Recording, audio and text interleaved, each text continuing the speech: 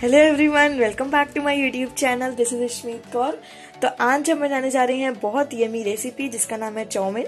तो चाउमिन बनाने के लिए यहाँ मैंने अपना सारा मटेरियल ले लिया है। सबसे पहले तो यहाँ मैंने अपने दो प्याज लिए हैं जिसको मैंने अच्छे से कट कर लिया है।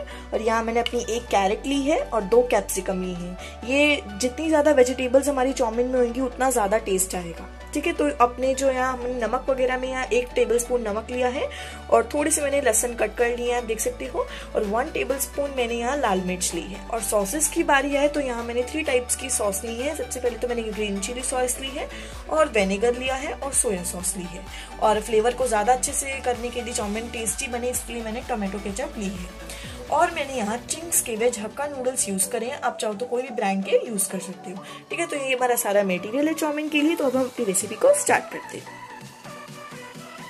सबसे पहले तो हमने यहाँ एक पतीला लिया है, जिसमें आधा हमने पतीला पानी से भर लिया है, और इसको हम सबसे पहले हम यहाँ नमक डाल देंगे। हाफ़ टेबल स्पून हम नमक डाल देंगे हम। उसके बाद हम वन टेबल स्पून अपना ऑयल डाल देंगे यहाँ। अब हमारा पानी गर्म हो चुका है और अब हम इसके अंदर अपने जो नूडल्स थे वो डाल देंगे। तो अब हम इसमें अपने सारे नूडल्स डाल देंगे। तो नमक हमने इसलिए डाला था कि ताकि जो भी हमारे जो नूडल्स हैं वो अच्छे में उसमें अच्छे से मिक्स हो जाए और हमने ऑयल इसलिए डाला था कि ताकि हमारे जो नूडल्स चिपके ना जब बॉईल हो रहे हो सो so, अब हम इसको 10 मिनट्स के लिए ऐसे ही सिंपल बॉईल होने के लिए रख देंगे। तो जब तक हमारे नूडल्स गैस पे बॉईल हो रहे हैं, तब तक हम चाउमिन का तड़का लगा लेंगे। तो यहाँ हमने वन टेबल स्पून ऑयल डाल देंगे हम। आप चाहो तो टू टेबल स्पून भी डाल सकते हो ऑयल अब हमारा ऑयल अच्छे से गर्म हो चुका है तो अब हम सारे जो हमारे प्याज थे, कटे हुए, वो हम सारे डाल देंगे अपनी कढ़ाई में।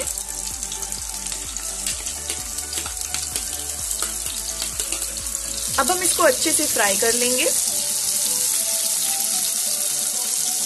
तो हमारे प्याज का कलर थोड़ा ब्राउनिश में आ गया है तो अब हम इसमें डालेंगे जो हमारे लहसन कटे हुए थे, वो सारे हम इसमें डाल देंगे। और हम इसको भी अच्छे से कर लेंगे फ्राई प्याज के साथ साथ। अब हम इसको फाइव मिनट्स के लिए ऐसे ही फ्राई होने के लिए छोड़ देंगे।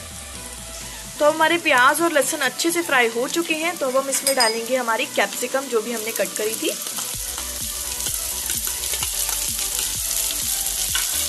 और अपनी कैरेट और इन सबको हम अच्छे से कर लेंगे मिक्स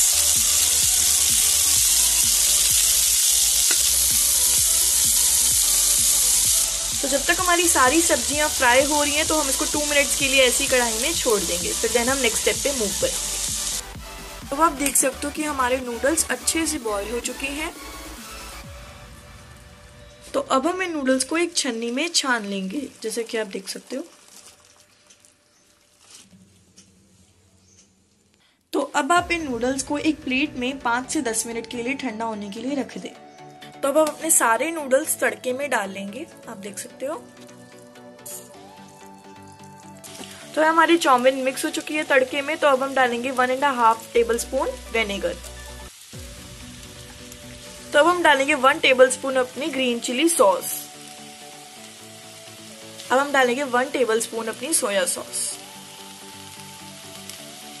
जब हमारे नूडल्स बॉईल हो रहे थे, तब हम आधा चम्मच नमक उसमें डाल चुके थे तो अब हम डालेंगे अपना हाफ़ टेबल स्पून जो हमारा नमक है, वो हम डाल देंगे. अच्छे से फैलाकर डाल देंगे, ताकि सब में मिक्स हो जाए हमारे नूडल्स में. और वन टेबल स्पून हमारा लाल मिर्च जो थी, वो हम डाल देंगे. तो अब हम इसमें डालेंगे one tablespoon tomato sauce तो आप देख सकते हो हमारी चाउमिन बन के एकदम रेडी है और ये बहुत टेस्टी लग रही है। तो अब हम इसको एक प्लेट में सर्व कर लेते हैं। तो यहाँ मैंने अपनी चाउमिन एक प्लेट में सर्व कर ली है और ये बहुत टेस्टी लग रही है।